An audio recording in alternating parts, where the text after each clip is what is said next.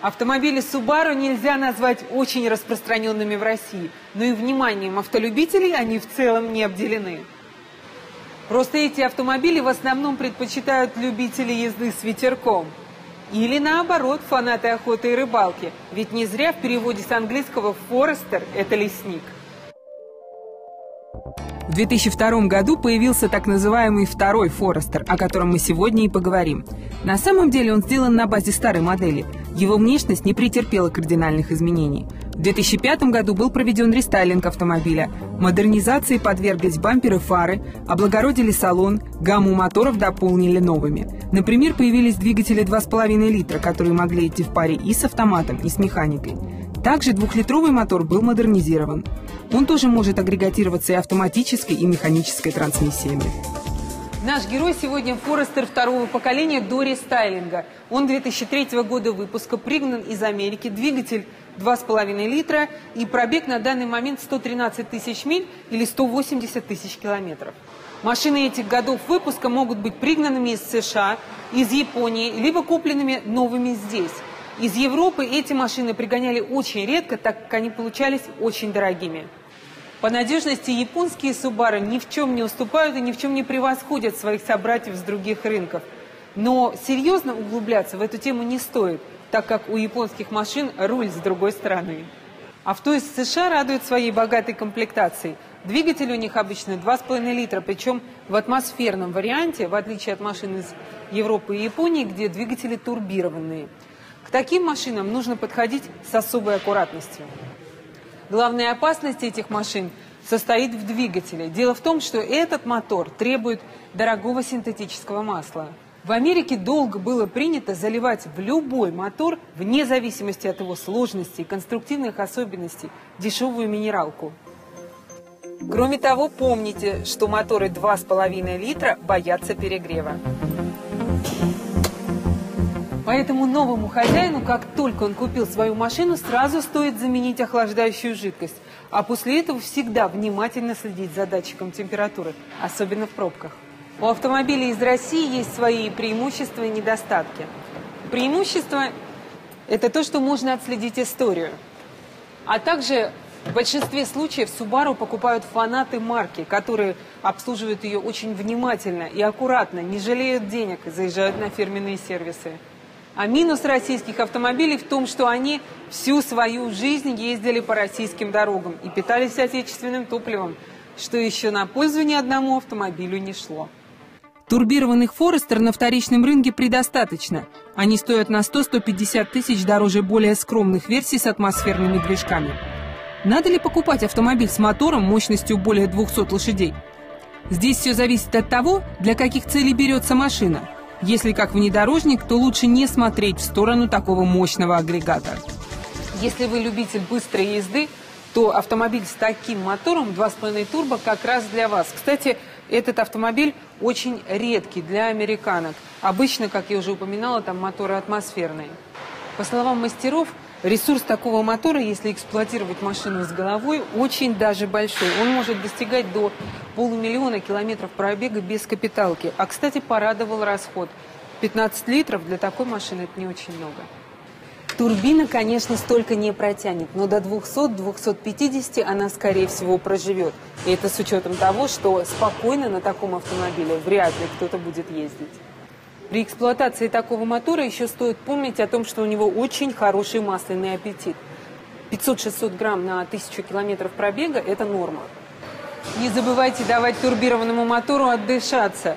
Пару минут на холостых оборотах после активной езды – это просто обязательно. А лучше всего поставить турботаймер. Покупая машину с пробегом около 100 тысяч, помните, что скоро понадобится замена ремня ГРМ с роликами. Скорее всего, к этому моменту подойдет и ремень кондиционера. Ну, то есть большое ТО вам обойдется порядка 35-40 тысяч рублей. Если же перед вами самый мощный Форестер на механике, то готовьте деньги еще и на замену сцепления. Если даже предыдущий хозяин не успел его убить, то, скорее всего, скоро ему подойдет срок. Сжигают этот элемент часто, ведь, как я уже говорила, спокойно ездить на турбированном Форестер непросто. Замена сцепления – удовольствие не дешевое, а поручать его нужно только квалифицированным специалистам, хорошо знающим Форестер. В итоге работа обойдется порядка 30 тысяч рублей. Но в гамме Форестер есть и гораздо более спокойные автомобили с двухлитровым атмосферным агрегатом. Сначала он был с одним распределительным валом мощностью 125 лошадиных сил, а начиная с рестайлинговых моделей уже с двумя распредвалами, выдающей 150 лошадей, на японском рынке 140. 125-сильный движок лучше всего сочетается с механической коробкой передач, так как четырехступенчатый автомат не самой современной конструкции делает машину неторопливой, особенно если сравнивать с 2,5 турбо. Что касается 156-сильного мотора, то к нему претензий вообще нет. Он и достаточно мощный, и надежность его оказалась на высоте. Ставили на Форестер и двухлитровый турбированный мотор, который на машинах для Европы выдавал 177 лошадиных сил. На автомобилях из Японии этот же силовой агрегат выдает 220 лошадиных сил.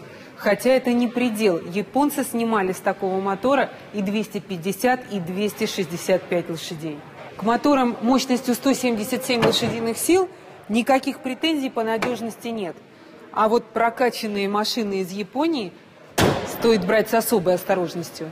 Ведь замена наддува в таком случае обойдется очень дорого. Таких моторов аж две турбины. Ну, а если говорить о двигателях, прокачанных в Японии по-серьезному, то есть когда количество лошадиных сил достигает трех сотен, то в поддержанном варианте такие машины лучше вообще обойти стороной. Коробка передач, как вы уже поняли, бывает механической или автоматической. При этом у машин с двухлитровыми атмосферными двигателями и механикой есть одна очень интересная особенность. Они оснащаются понижающим рядом передач. Такие машины, конечно, намного более уверенно чувствуют себя на бездорожье. Салон у Форестера, как и все в этой машине, добротный, без сверчков и скрипов и абсолютно аскетичный. К системе полного привода обычно никаких претензий у этого автомобиля нет.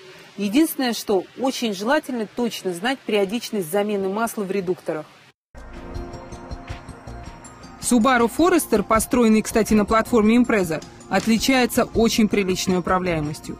Нельзя сказать, что он едет лучше своих конкурентов, однако его ходовая спокойно справляется с мощнейшими турбированными моторами, а потому изначально более прочная по конструкции.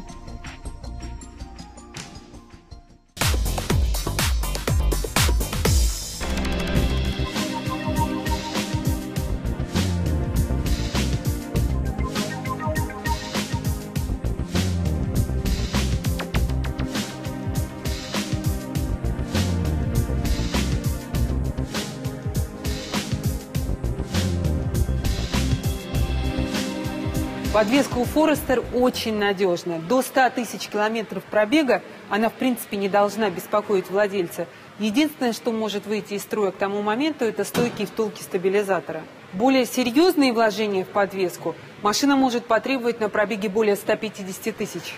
Тогда под замену могут пойти амортизаторы, шаровые опоры и подшипники ступиц. Но обычно все эти элементы выходят из строя по очереди, а не разом – Поэтому для бюджета особого напряжения не создается. Многие Subaru Forester имеют амортизаторы с системой автоматической подкачки. Система эта, конечно, очень хорошая, а задумка, особенно для наших дорог, так вообще прекрасная. Ведь даже если машина сильно нагружена сзади, она не меняет свою геометрию и не сильно подскакивает даже на кочках. Но вот когда дело доходит до ремонта, здесь уже многие хозяева задумываются, потому что цена одного амортизатора 18 тысяч рублей. И часто они даже не доживают до 100 тысяч километров. Именно поэтому многие владельцы часто меняют эти амортизаторы на обычные вместе с пружинами. Так получается приблизительно в два раза дешевле, чем поменять на новые самоподкачивающиеся. Рулевое управление тоже надежное – Тяги и наконечники служат 120-150 тысяч километров. Рейка может постукивать в крайних положениях, а шланги усилителя руля слегка мокнуть. Однако это не повод для беспокойства. Если же потечет верхний сальник рейки, поможет недорогой ремкомплект. Тормозная система у машин с атмосферными и с турбированными двигателями различается.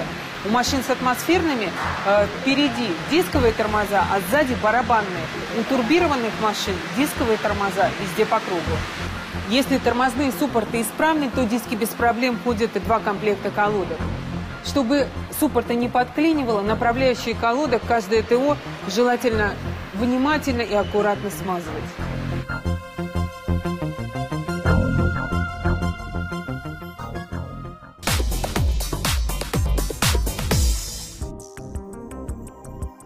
Краш-тест Subaru Forester прошел на отлично.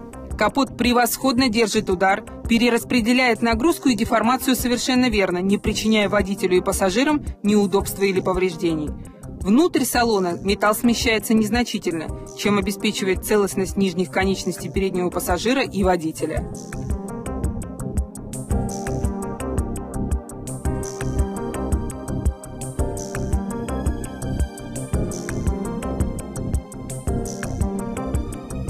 За защиту детей наш автомобиль набрал даже больший балл, чем за лобовую или боковую часть тестирования. Защита маленьких участников дорожного движения оказалась на высоте. Не самый лучший результат автомобиль продемонстрировал только при ударе сзади. Подголовники не могут обеспечить полную защиту для высоких пассажиров. Subaru Forester – добротный полноприводный автомобиль. При этом он имеет свое лицо и определенную самобытность. Да, действительно, обслуживание Форестер далеко не дешевое, но ломается он крайне редко, особенно если соблюдать все правила разумной эксплуатации двигателей и подвески. Обслуживать эту машину стоит только в сервисах, где действительно знают Subaru. Если честно, даже в Москве не просто найти хороший сервис с приемлемой ценой, который является настоящей альтернативой фирменному авторизованному сервису. Если взять автомобиль с пробегом в районе 100 тысяч километров, то без особых вложений его точно можно эксплуатировать еще порядка 50-70 тысяч. А вот подходить к вопросу покупки такого автомобиля, например, 2006-2007 годов выпуска, можно суммой от 600 тысяч рублей.